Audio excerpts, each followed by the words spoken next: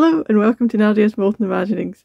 Today I am going to be painting a beautiful Christmas robin to go into a nice oval frame, which I have here. And that is going to then be turned into some Christmas cards. So I am mainly going to be using my encaustic stylus today for the detail work. And this is going to be a really fun festive project.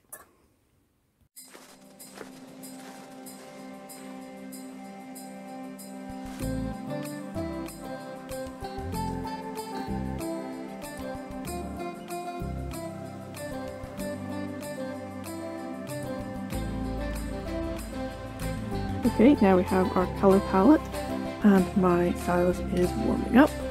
Let's get to painting. I started with a nice neutral brown, put down the branch for the robin to sit on, and then started with the dullest part of the body, which was the wing.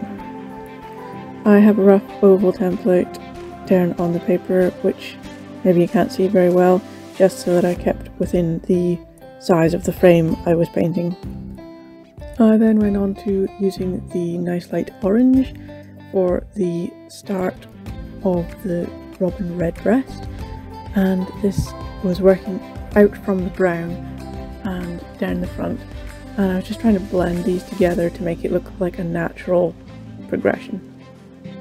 I was then just building up the rest of the colours, the white for the body, and at this point I was thinking this is looking like a very chubby little robin. then I decided to flesh out some of the branch a bit more, give him a little bit of substance. The snow on the branch also being white meant that um, it wasn't showing up very well so I added a little bit of the orange and brown just to let it show up a bit more. And as soon as I did that robin's little face I thought that is a derpy little robin. I wasn't really very happy with it to start with, but it just took um, quite a bit of blending and toning and making the the details stand out. I also wanted to paint this beautiful blue tit, which would make a wonderful companion to the little robin. I also have a frame for that, which is a little more elaborate. So I'm going to um, maybe not do the bright orange background in this reference and um, just so the colours don't clash too much.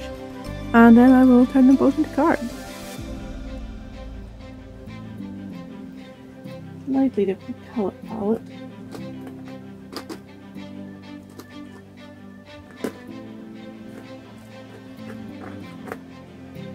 Hmm.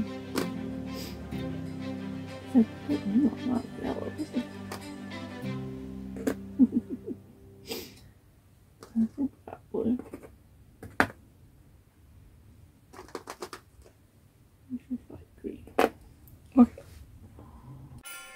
Uh, as soon as I started the blue tit, I felt that it was coming together a lot faster, a lot quicker than the robin, and maybe that's just because I had warmed up by this point, or maybe it was because it was a slightly smaller image. Either way, I was absolutely whizzing through this one and getting the colours down really fast and seeing it come together before my eyes. I've always really loved the colour combinations of the blue tit, the lovely turquoise green, blue on the wings and the yellow tummy. They're just such beautiful birds. They also look like funny little bandits with the way their eye markings are.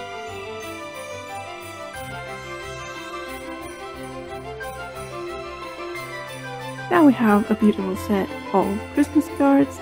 I am going to cut out this oval shape here and then I am going to frame these.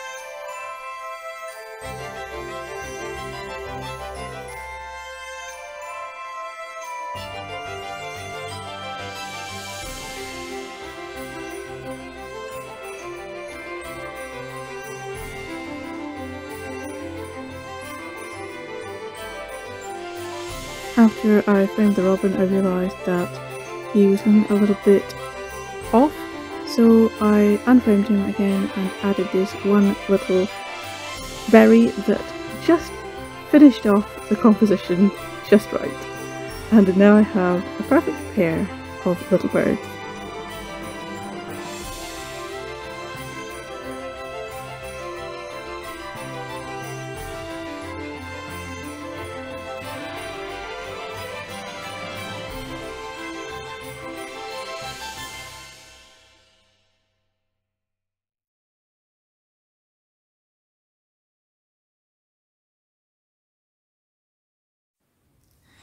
So here we have a lovely little pair of Christmas card birds, all festive and all pretty.